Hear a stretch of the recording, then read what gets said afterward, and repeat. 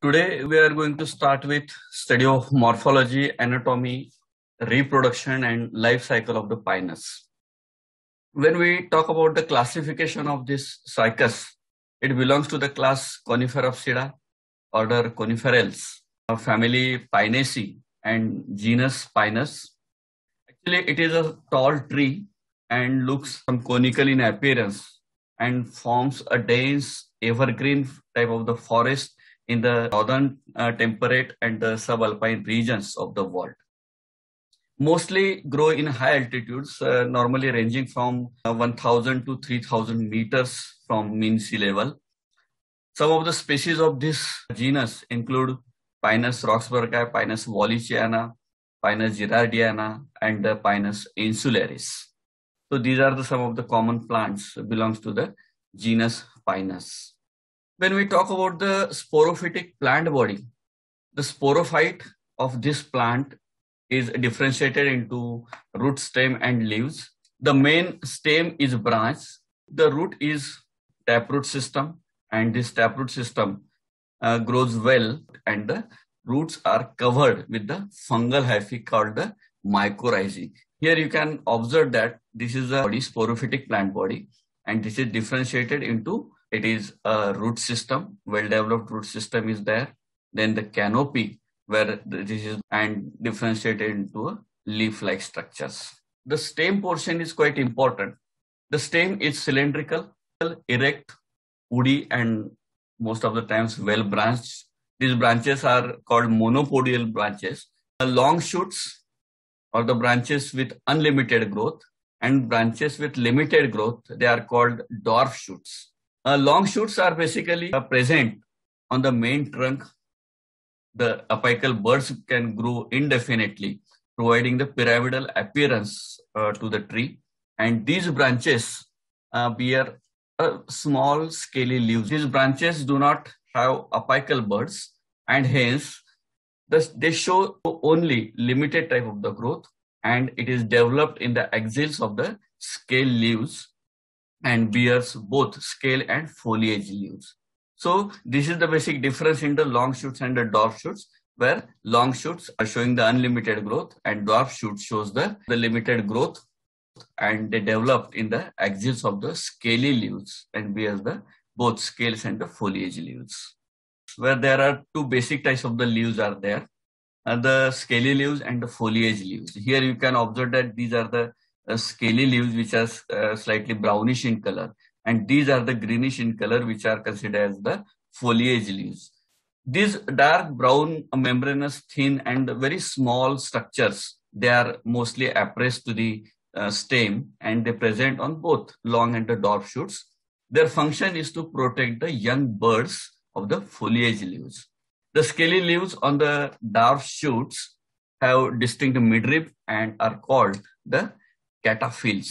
Foliage leaves are green, angular and needle-like structures. Here you can observe that these are the angular needle-like structures are there.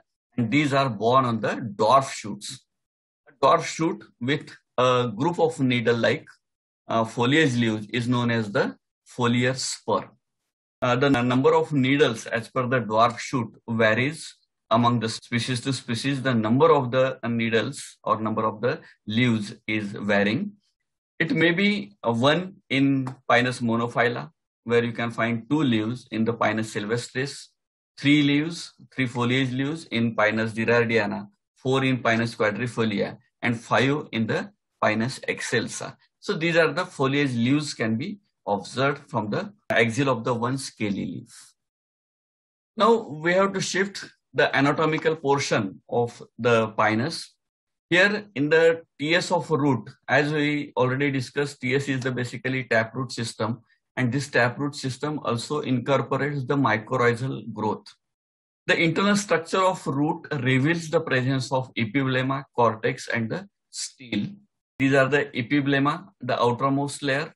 This is the cortex. This is, uh, this is the diagrammatic sketch of uh, the TS root, where this portion is the cortex zone and endodermis, which is followed by the pericycle, where you can find that centrally there is the presence of pith, and the phloem is there in between the two metaxylem elements, Metaxylem elements are uh, larger vascular elements, uh, xylem elements, and protoxylem are the smaller protoxylem elements which can be present at the peripheral region. Uh, we also observed that the, there is the presence of resin canal. Uh, this epiblema is made up of the single layer of the parenchymatous cells. And cortex is quite wide zone and consists of the parenchyma. Some of the cells have the resin ducts. Here in this diagram, you can observe that find the outermost layer, which is the parenchymatous, and it is a epiblema structure. Whereas this cortex zone is of somewhat similar size.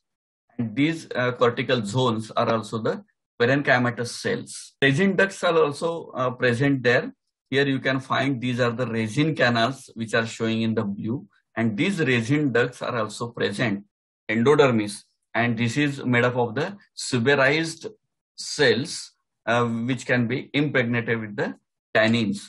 Here you can clearly observe that this is the innermost layer where you can find the endodermis.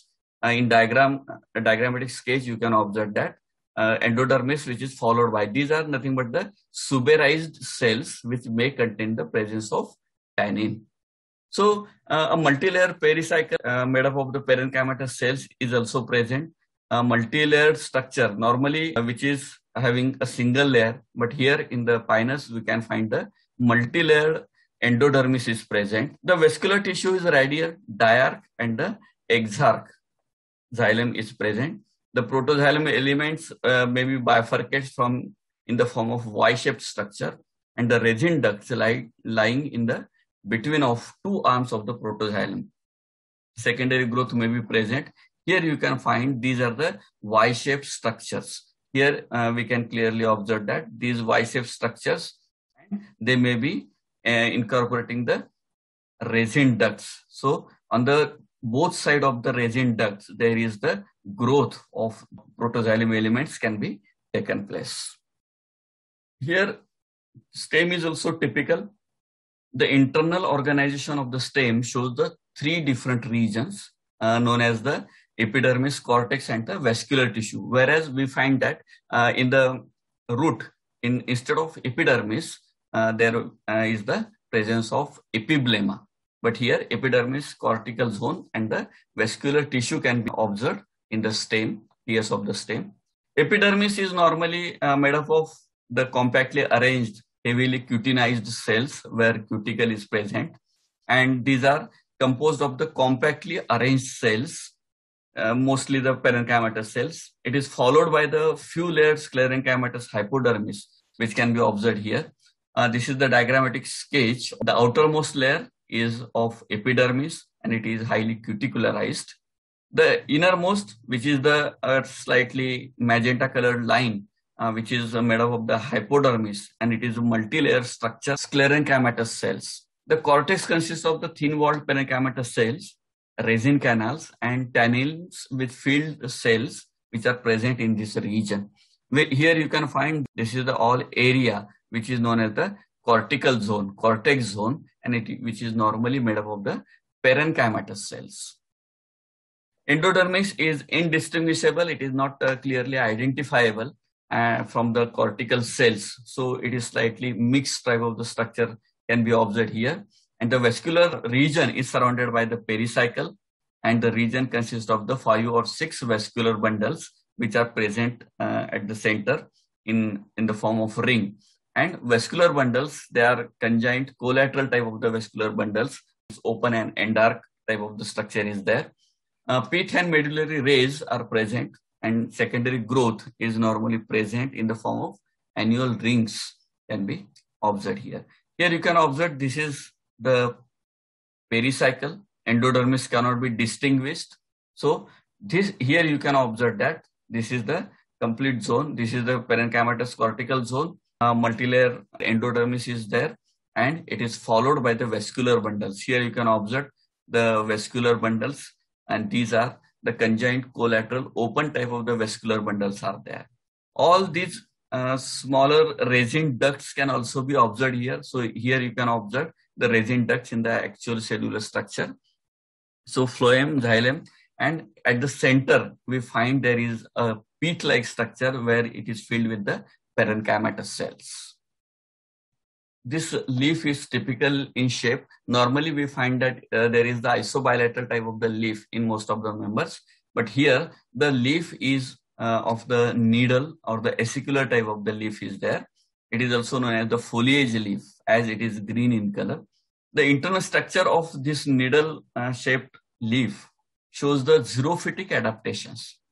Where water scarcity is there in such areas, the xerophytic uh, characteristic of the leaf is being developed. And here uh, in Pinus also we find the xerophytic adaptations can be easily observed in the leaf. It appears triangular in shape and divided into epidermis, mesophyll, and the vascular bundles. Here you can observe, this is the outermost layer is of the epidermis. The second zone is uh, the mesophyll tissue and at the center we find the vascular bundle. Here in the cellular diagram, you can easily observe that the stomatal type are typical here. They are sunken type of the stomata are there. The epidermis is single layer and possesses a thick cuticle. This is right inside and it is sunk in the epidermal and hypodermal zones. So it is quite deeper to maintain the moisture or the water in the stomatal areas. Epidermis is followed by a few layers of the sclerenchymatous hypodermis. It is interrupted by the substomatal cavity. As this stomata shows two cavities, the outer and the inner cavity. So the inner cavity may be present in the hypodermal region. The mesophyll is not uh, differentiated into a palisade-like tissue, uh, palisade and the spongy parenchyma. It is thin-walled cells with the chloroplast present. Normally, palisade cells are nothing but the elongated vertical cells, but here we cannot observe those, uh, these uh, cells which are elongated in size and shape. So it is just uh, cells which are having the chlorophyll pigments in that. The cells are peculiar in numerous small foldings which project into the cavities. Here you can observe it is the uh, slight magnified structure. Here you can observe the epidermis. This is the single layer epidermis. This is uh, sclerenchymatous hypodermis. And below that, this is the cortical zone and this is the transfusion tissue. Epidermis is punctured with the stomata and these stomata having the two cavities. Here, uh, the first cavity and this is the sunken cavity, second cavity is present. And because of that, the loss of moisture from the leaf is very less. The infoldings increase into the photosynthetic area of the needle leaves. So here you can find this is the photosynthetic zone where you can find there is the presence of the chlorophyll pigments in that. The resin canal is present in the mesophyll tissue and a single layered endodermis separates the vascular region from the cortex. Here you can find this is the bundle sheath with separating from the cortical zone. A multilayer pericycle contains the presence of starch. Here, starch granules can be easily observed that. And here you can find the presence of secretory cells, then sclerenchymatous fibers, and all the structures which may be present in the cortex zone. There are two types of the specialized cells called albuminous cells and the tracheal cells in the leaf. Uh, the first cell, we can say the specialized cell, uh, albuminous cells, helps to passes the substances from mesophyll to the phloem, while the another tracheal cells, this tracheal cells helps in the water conduction and the constitution of the transfusion tissue. So these things we must have to keep in mind that the tracheal cells helps in the water conduction and the albuminous cells uh, helps in the passage of the substances from the mesophyll to the phloem. Two vascular bundles are present. Here you can observe that this is the first one and this is the second one. And these are separated by the sclerenchymatous tissue.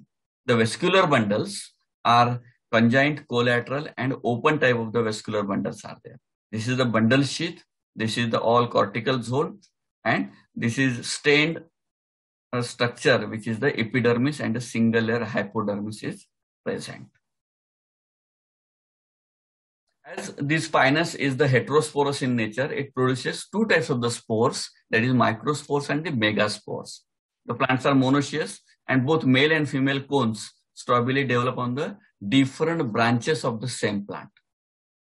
आता monoecious असल्यामुळे काय झालेलं आहे एकाच प्लांटवर पण दोन वेगवेगळ्या ब्रांचेसवर mail आणि फिमेल कोण आपल्याला develop होताना दिसतात so microspores and megaspores present on the same plant it is present in the male cone and male cones are produce in the clusters of the branches of the unlimited growth and each cone develops on the axil of the scale leaf. Here you can observe that. Here these are the male cones and these are growing on the presence of the unlimited tribe of the growth, clusters on the branches of unlimited growth. Cone develop on the axil of the scaly leaves. The male cone consists of the uh, centrally located cone and is surrounded by a numerous spirally arranged microsporophylls. Here you can observe that this is the male cone, LS of the male cone. These are all the microsporophylls is microsporophylls bears the microsporangia and they are surrounded on the central axis. Now it bears the microsporangia at the base and the abaxial side of the microsporophyll. Abaxial side is the lower side of the leaf and here suppose consider this is the one microsporophyll where on the lower surface you can find the presence of microsporangia. And this microsporangium bears a numerous winged type of the microspores which are haploid in nature and these are considered as a pollen grains now. These microspores represent the male gametophyte and they can easily blown with the wind because of the presence of this wing on the microspores. When we talk about the female cones in the pinus, female cones are formed on the groups of 1 to 4 in the axis of the scaly leaves. The female cone takes about 3 years to mature. This is one of the female cone, LS of the female cone. Here you can observe that it almost taking the 3 years to completely mature this female cone. And it has a central axis around which megaspores are the spirally arranged. This is the uh, LS of the female cone here you can find the centrally present axis and on these axis, the spirally arranged megasporophylls are present and each megasporophyll bears almost one ovule in that and these are the structures which are called as a ovuliferous scales. The megasporophyll is uh, the compound structure consists of basically two scales, bracts scale which is normally sterile and the ovuliferous scales which is fertile bears the ovule. The dorsal surface of each ovuliferous scale bears two ovules.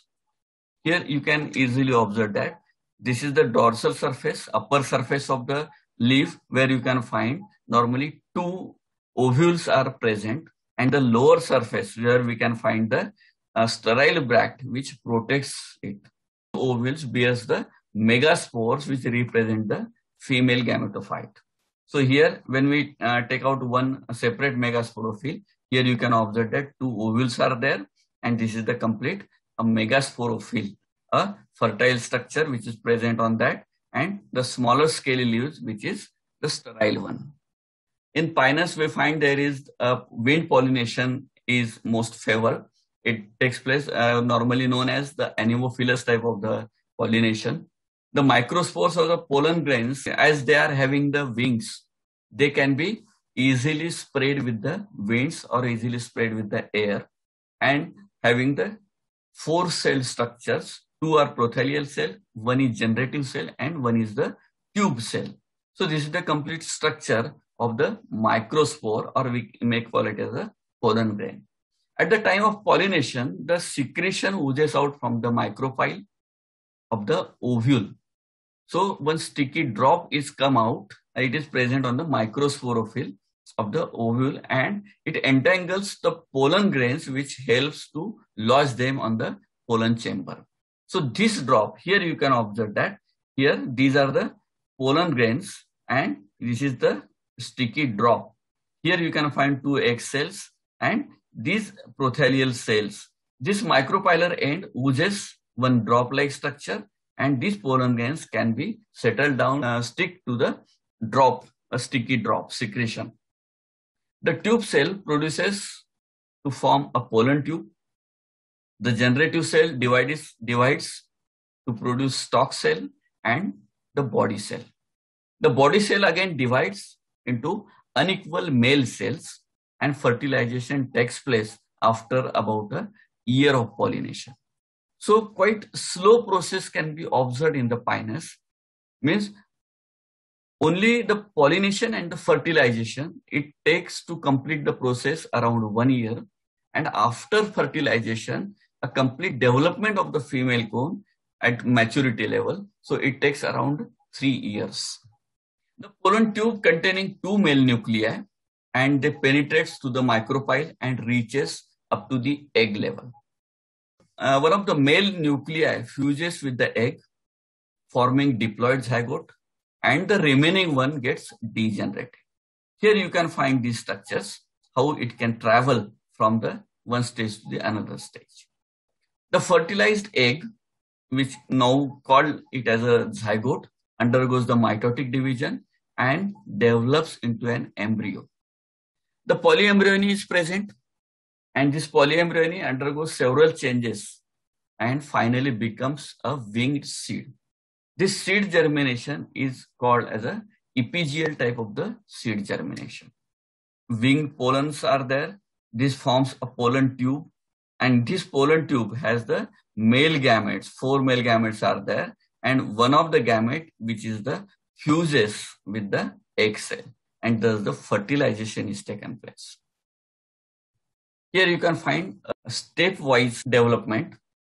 Here it is a megasporangium in megasporangium, there is the megaspore mother cell. After meiosis, the four megaspores, four haploid megaspores are being formed. These megaspores, out of four megaspores, only one uh, remains uh, viable and other three gradually degenerates. And where we find the archegonium, there is the development of only one ovule egg cell is taken place. Now, here you can find these microspores. The microgametophyte germinating pollen is situated on the this micropylar end on the sticky substance. Pollen tube generates and from this pollen tube, this egg cell is gradually get the fertilized. After fertilization, we find this single cell of diploid nature gradually divides into two cell structure 2 to 4 cell 4 to 8 cell And this 8 cell structure now enters known as the embryo, which is having the potential sporophyte. Here you can find a suspensor cell is being developed and this suspensor cell gradually grows. When we talk about the life cycle of the pinus, here you can observe a graphical representation of the life cycle of the plant. The pinus, it is the sporophytic plant body diploid in nature. And on the same plant, we find there is the development of the female cone and the male cones on the two different branches. This female cone having the megasporophylls and on the megasporophylls we find the megasporangium is developed. These megasporangiums is having the diploid nature of the megaspores. This megaspore mother cell is actually a diploid cell after meiotic divisions, they become the haploid megaspores. Four haploid megaspores can be developed, out of which three get degenerated and only one uh, megaspore remains viable. The same condition can be observed in the male cones, where male cone is the diploid structure, microsporangia, the microsporophylls having the microsporangium, and this microsporangium having the diploid microspores. These diploid microspore mother cells when get into the meiotic division, it forms a four haploid microspores.